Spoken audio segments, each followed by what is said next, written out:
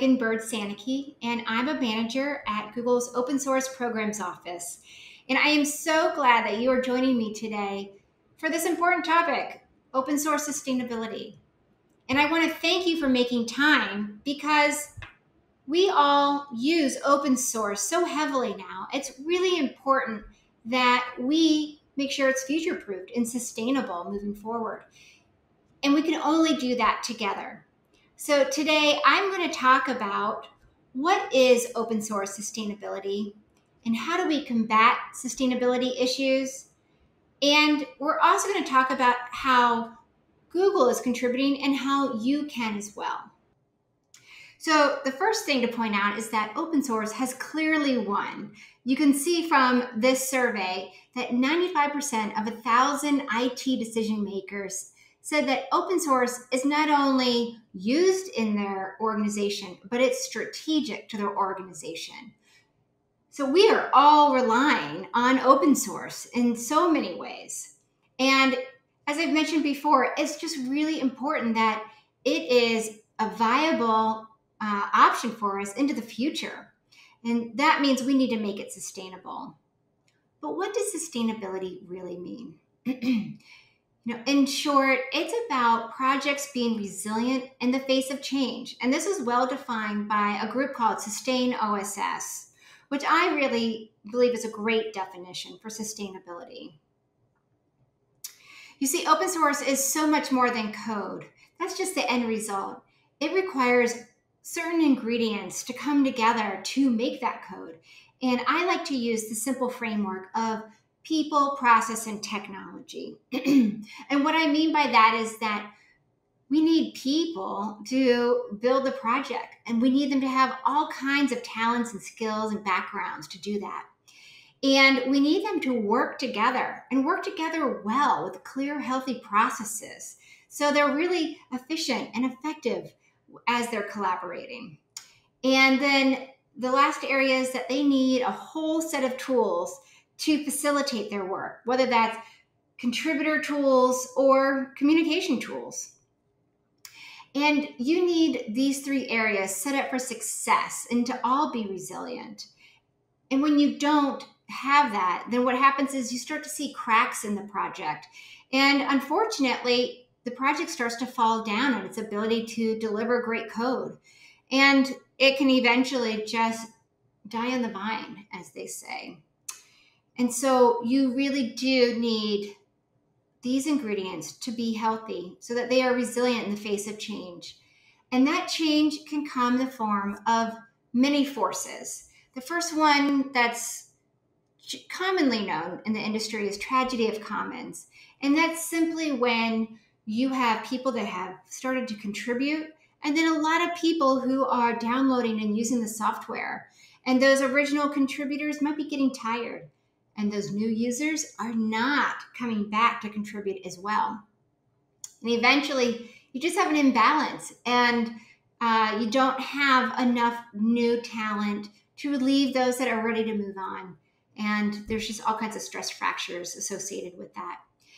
The other force that creates um, change and impact in a project is how a project goes through different stages, through uh, life cycle stages. So it starts small, it might just be a few people working on it, and then it gets bigger and bigger, and it starts to need governance to tell people how to work well together. It needs more process, it needs different kinds of talent. And if it doesn't have the right ingredients at each stage, it's just not going to progress to the next stage. It might even go backwards. So that's another area that is pretty common with projects. Another force that impacts projects is changes in the competitive landscape. So you might have a project that solves a certain problem, and then another project comes out that solves that problem in a different way.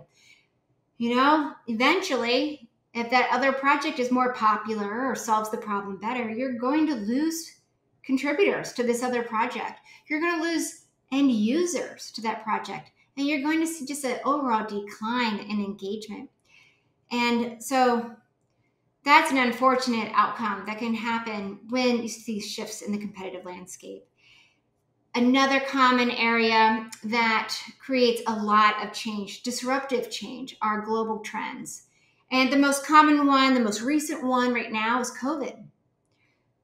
COVID started, and projects that were relying on in person events and the funding from those events found that they had to cancel the events and they were scrambling to find money to keep their foundations afloat, and to pay for servers.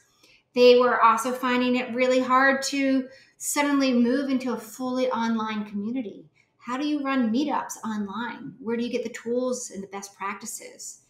Um, and so there's lots of headwinds like this and others that I haven't mentioned, but it is true that projects have to deal with a lot, whether they realize it or not, as they're getting started and moving through their journey. And it's also important to note that no project's um, sustainability needs are the same. Everyone is in different places. And unfortunately, there isn't a tool out there to just tell the community, oh, you're having resilience issues.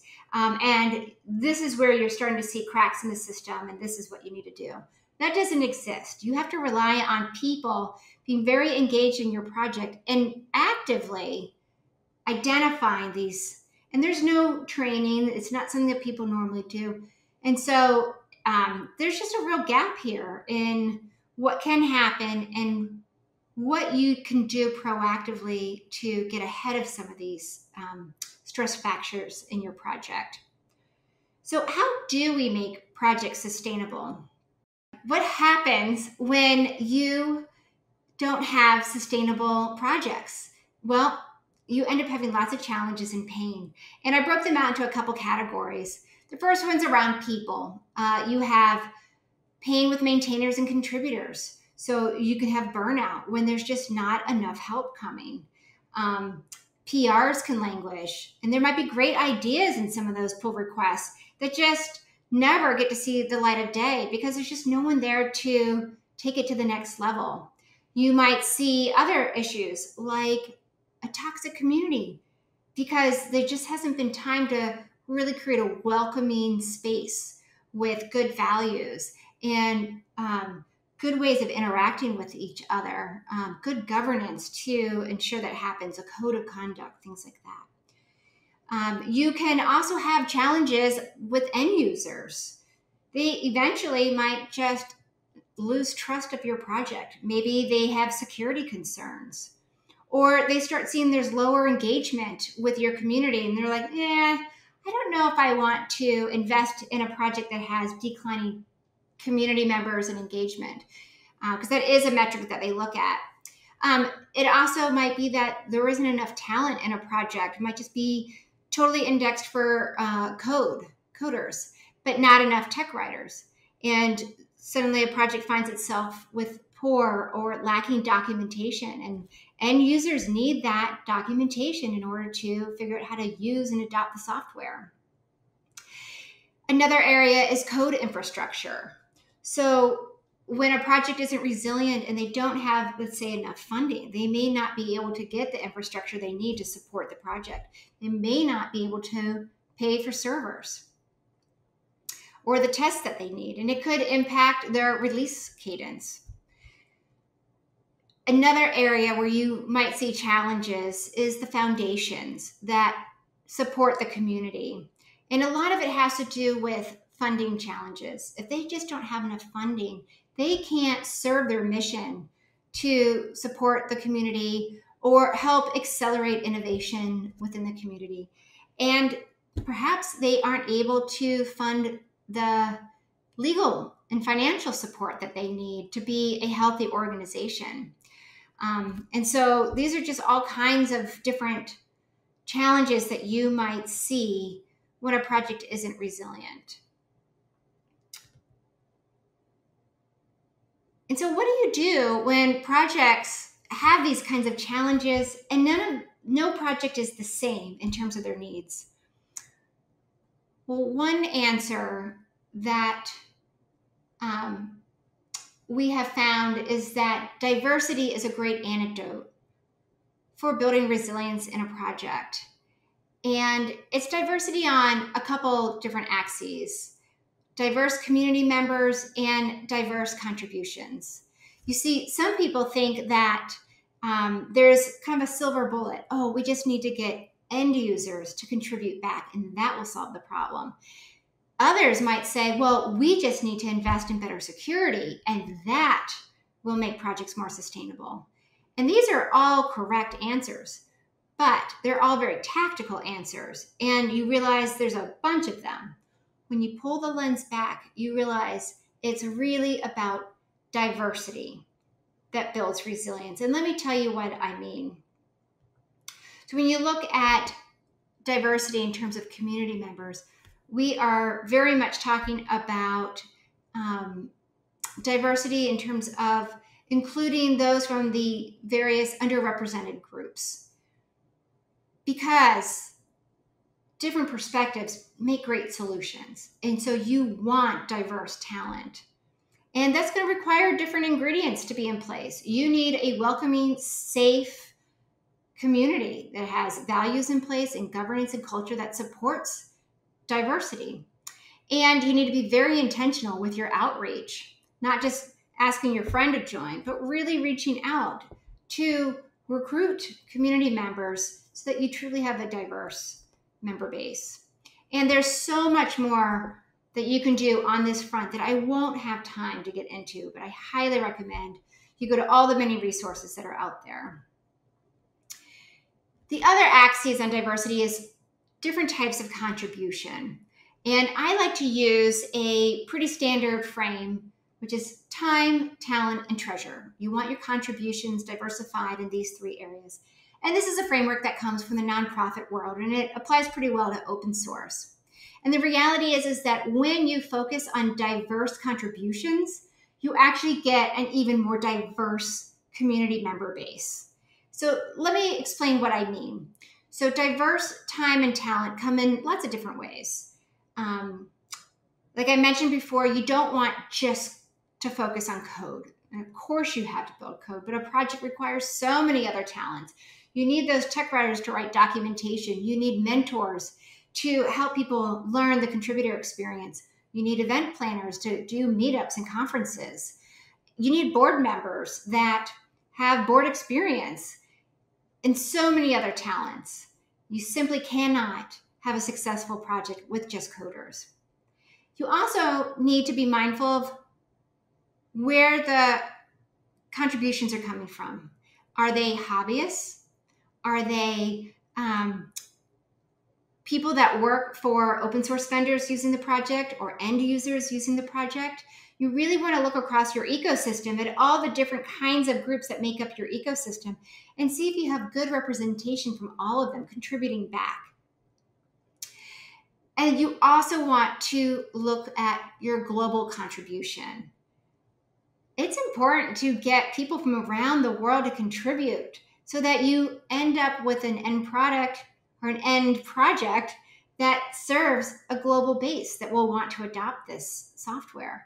And you um, can really lower barriers when you have um, more of a global community base. So, for example, they can write translations so that end users around the world can really grab that software, read the translated documentation, and put it to good use. So that's time and talent. You further need to diversify with treasure, and that just means funding. So you need money for tools like servers, like I mentioned before. You might also want money for diversity scholarships. You may want to pay maintainers, and you need money to do that. And it's really important to diversify the funds. So you don't want to bring in money in just one way. You don't want to rely just on event sponsorships, for example, ticket revenue. We saw this with COVID. The projects that did rely on this too heavily, heavily found that they were really struggling for survival um, and had to come up with new ways to fund their mission work. And so you want to think about events, but you want to think about memberships and donations and uh, grants Maybe you want to have a product. And um, there's other things about treasure as well. But when you diversify treasure, time and talent and you think about that and you ask what your project needs now and into the future, you will start building in so much more resiliency into your project by diversifying. This is how Google thinks about sustainability, and we put it to practice every day. And that's because we use a lot of open source software. We rely on it for our infrastructure and for the offerings we make out in the marketplace. And so we take giving back very seriously. It's the right thing to do, and it also future proofs the open source projects we rely on. And we have nearly 12,000 Googlers who are contributing to projects. And that doesn't even include people beyond uh, code and tech writers. So it doesn't include our staff members that are serving on boards or planning events. And we create thousands of open source projects. And today we currently manage 2,600 active projects. And we rely on a lot of external projects as well. And we're actually active in um, 70,000 GitHub repositories. And it's, it's a lot. And we care about these projects too and make sure we give back. We do so in lots of different ways. And so I'll kind of just break down some of the ways that we are uh, contributing to make open source sustainable. So the first example is Go, a really popular language that was developed by Go, and it has a strong and growing community around it. We have a group of people that are focused on sustainably stewarding the project and making sure everyone's working well together towards these common goals for Go. And one of the things that they found, especially during COVID, was that with this emphasis of online collaboration, we needed to make the project more welcoming in these online forums. And there really wasn't training. And there you don't normally get this kind of training to learn how to moderate forums.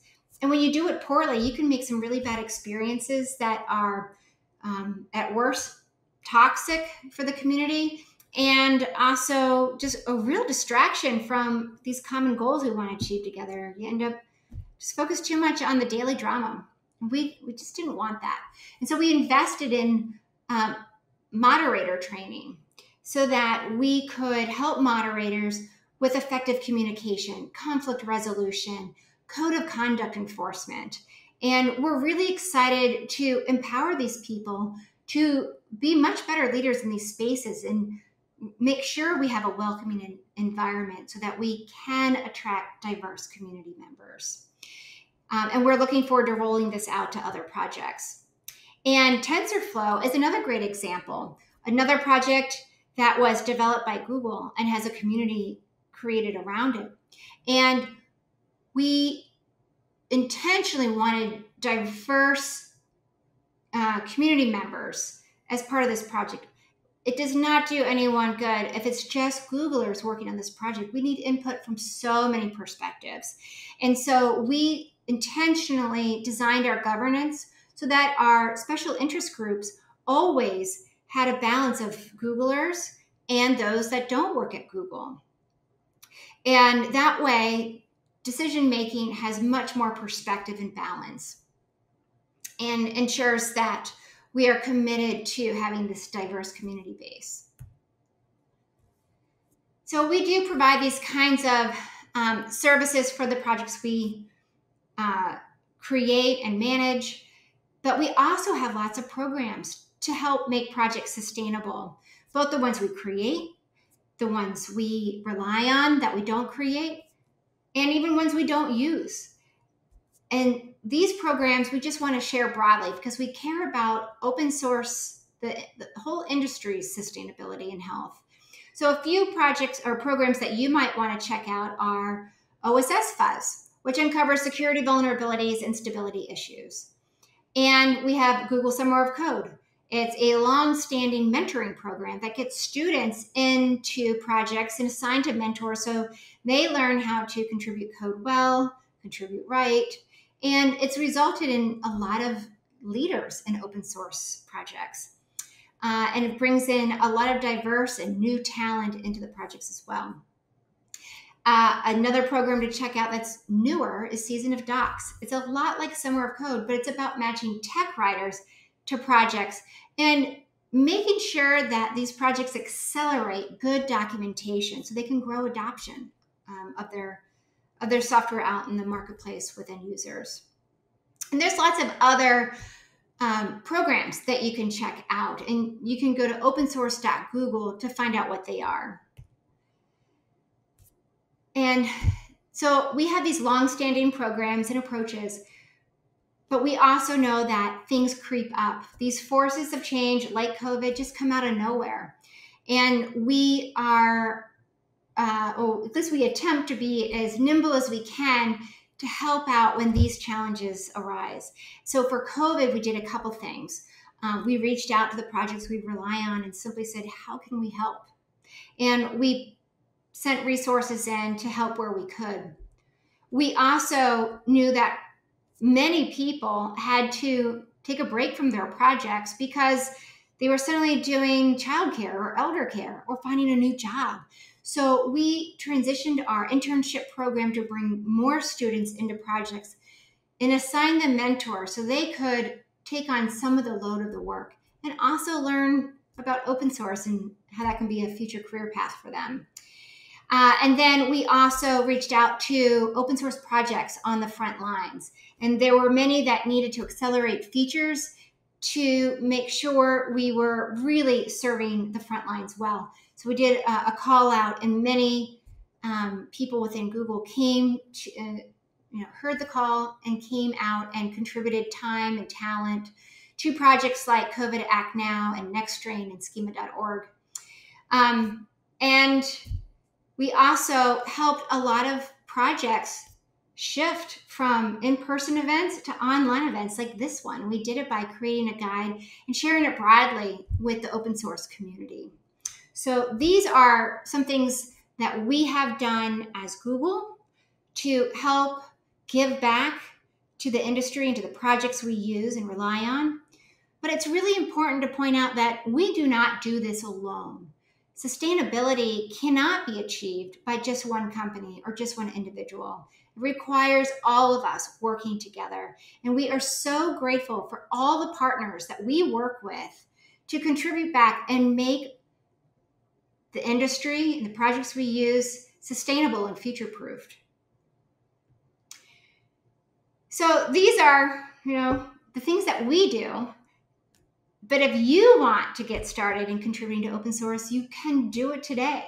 And you don't need to be part of a big enterprise to make a difference. Everything counts. So here are a few pro tips that you might want to try right away. First is just going to the project you love and use and asking, How can I help?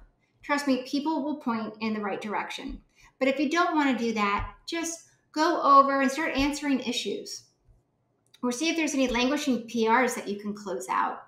And you can always fund a project. You could buy a membership, you could donate, you could even buy a t shirt. That kind of money helps too. And you can look at our sustainability programs on opensource.google and see which ones might help your project and apply for all of them. We're happy to share our resources and we really want to.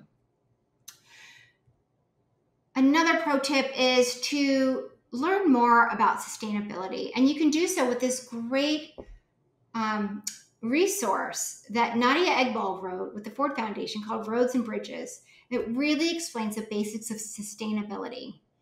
And so I hope you'll check that out. I hope that you will start thinking of ways that you can contribute because, like I said, every little bit matters. And this is how we keep open source alive today and into the future. So I want to thank you for your time. And if you have any questions, please feel free to ask them in chat.